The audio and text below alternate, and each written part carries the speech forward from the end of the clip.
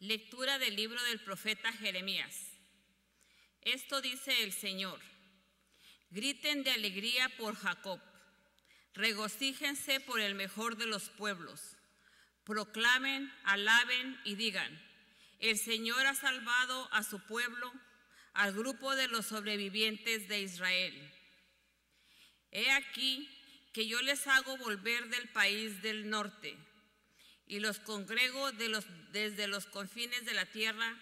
Entre ellos vienen el ciego y el cojo, la mujer encinta y la que acaba de dar a luz. Retorna una gran multitud, vienen llorando, pero yo los consolaré y les guiaré.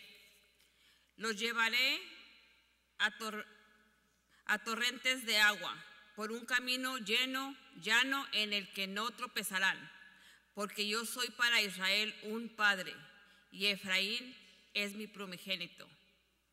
Palabra de Dios. Salmo responsorial. Grandes cosas ha hecho por nosotros, Señor.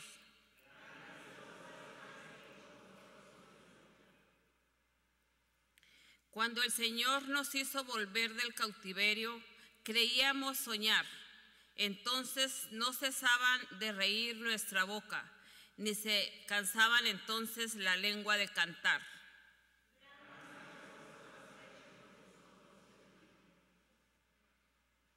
Aún los mismos paganos con asombro decían, grandes cosas ha hecho por ellos el Señor y estamos alegres, pues ha hecho grandes cosas por su pueblo el Señor.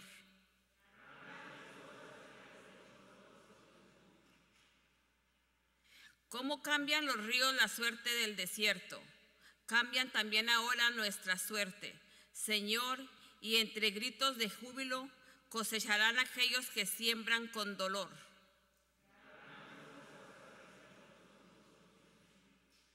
Al ir iban llorando, cargando la semilla. Al regresar, cantando, vienen con sus gavillas.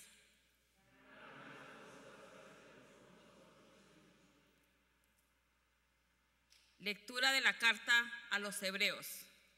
Hermanos, todos somos sacerdotes, todos somos sacerdotes, un hombre escogido entre los hombres y está constituido para intervenir en favor de ellos ante Dios, para ofrecer dones y sacrificios por los pecados. El, el pueblo comprende a los ignorantes y extraviados ya que él mismo está envuelto en debilidades. Por eso, así como deben ofrecer sacrificios por los pecados del pueblo, deben ofrecer también por los suyos propios. Nadie puede apropiarse ese honor, sino solo aquel que es llamado por Dios, como lo fue Aarón. De igual manera, Cristo no se confió a sí mismo la dignidad de sumo sacerdote, se la otorgó quien la había dicho tú eres mi hijo y yo te he engendrado hoy. O como dice otro pasaje de la escritura, tú eres sacerdote eterno como el Melchizedek, palabra de Dios. Aleluya, aleluya, aleluya, aleluya. Aleluya,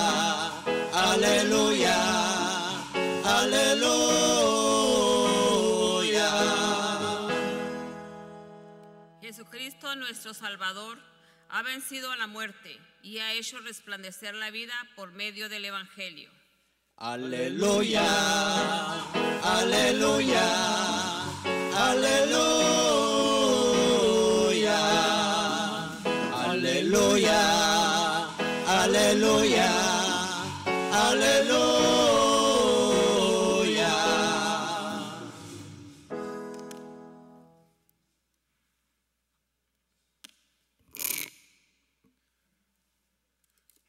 Señor esté con ustedes. Lectura del Santo Evangelio según San Marcos. En aquel tiempo, al salir Jesús de Jericó, en compañía de sus discípulos y de mucha gente, un ciego llamado Bartimeo se hallaba sentado al borde del camino pidiendo limosna. Al oír que el, que el que pasaba era Jesús Nazareno, comenzó a gritar, Jesús, hijo de David, ten compasión de mí. Muchos lo reprendían para que se callara, pero él seguía gritando todavía más fuerte, Hijo de David, ten compasión de mí. Jesús se detuvo entonces y dijo, llámenlo. Y llamaron al ciego diciéndole, ánimo, levántate, porque él te llama. El ciego tiró su manto, de un salto se puso en pie y se acercó a Jesús. Entonces le dijo Jesús, ¿qué quieres que haga por ti? El ciego le contestó, Maestro, que pueda ver. Jesús le dijo, vete, tu fe te ha salvado. Al momento recobró la vista y comenzó a seguirlo por el camino. Palabra del Señor. Las palabras del Evangelio perdonen nuestros pecados. Amén. Ven Espíritu Santo, ilumina nuestras mentes, llénanos de ti, para que todo lo que hagamos en este momento sea movido según el deseo de tu corazón, para que esta palabra proclamada dé fruto y ese fruto suba a ti como incienso agradable a tu presencia. En esta mañana damos muchas gracias a Dios por esta oportunidad que nos da de poder proclamar su palabra, de poder venir al templo y estar en su presencia. Hoy la lectura del Evangelio nos invita a cada uno de nosotros a confiar en el Señor, a poner nuestra fe en el Señor. Para Dios no hay nada imposible porque Dios está por encima de todo. Hoy la lectura nos habla de un personaje, eh, de un ciego que se llama Bartimeo. Y este, la dificultad de este hombre, vuelvo y repito, era ciego. Y dice el texto que se encontraba al borde del camino pidiendo limosna. Él tenía una dificultad, así mismo como cada uno de nosotros. Tenemos problemas, dificultades, y muchas veces estamos ahí como el ciego, pidiendo limosna. No sabemos qué hacer. Se nos olvida que Dios es nuestro Padre y que nunca nos abandona. Y dice el texto más adelante que al oír que pasaba Jesús Nazareno, comenzó a gritar, Jesús, hijo de David, ten compasión de mí. Ya él, quien sabe, en su, en su sentado en ese lugar, había escuchado hablar de Jesús. Y en ese momento tuvo la oportunidad de escuchar de que Jesús estaba pasando por ese lugar. Así mismo como Jesús hoy está pasando en nuestras vidas, en nuestros hogares. Y él aprovechó la oportunidad que tenía y comenzó a clamar a Jesús. Jesús, hijo de David, ten compasión de mí. Y ese es el clamor que tenemos que tener nosotros los cristianos.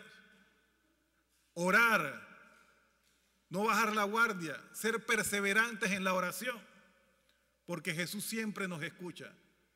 Él no, comenzó a gritar, Jesús, mira, sáname, devuélveme la vista, sino que Jesús, ten compasión de mí. Y dice el texto más adelante que las personas le reprendían para que se callara. Pero él insistió, hijo de David, ten compasión de mí. Nada ni nadie le quitó ese clamor, porque él estaba convencido de que ese hombre que estaba pasando por ahí, Jesús Nazareno, tenía la solución a su problema.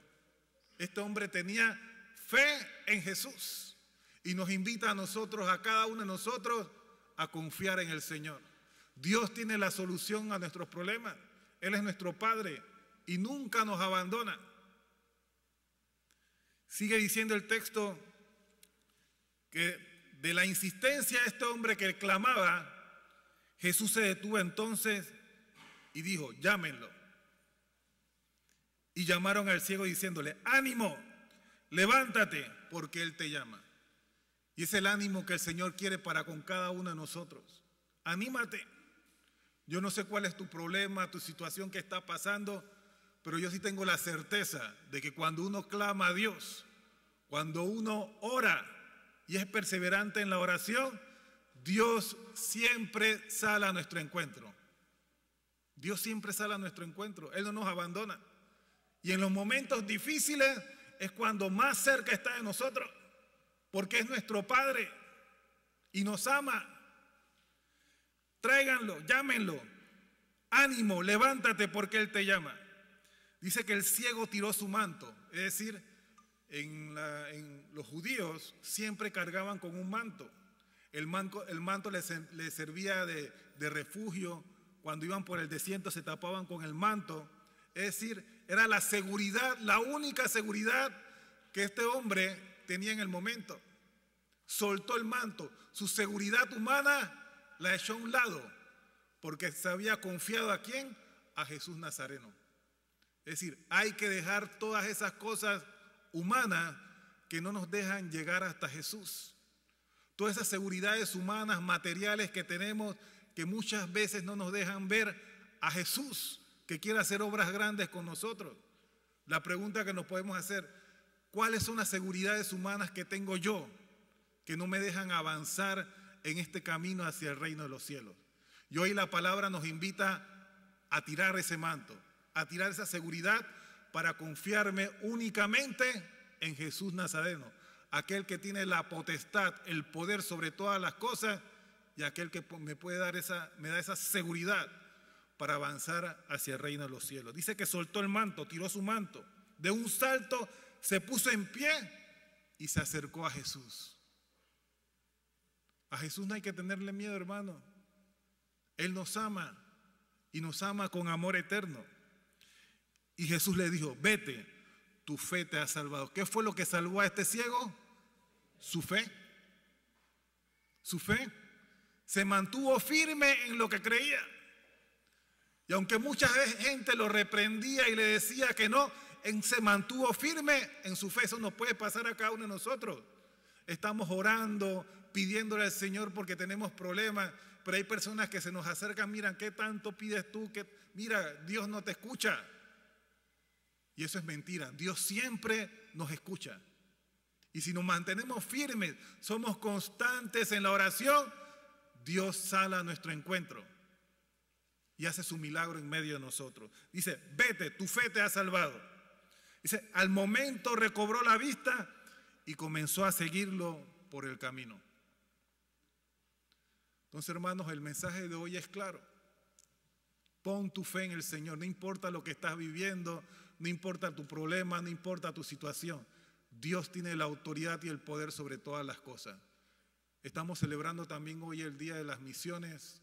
Eh, todos nosotros como bautizados somos misioneros. Estamos llamados a predicar el Evangelio.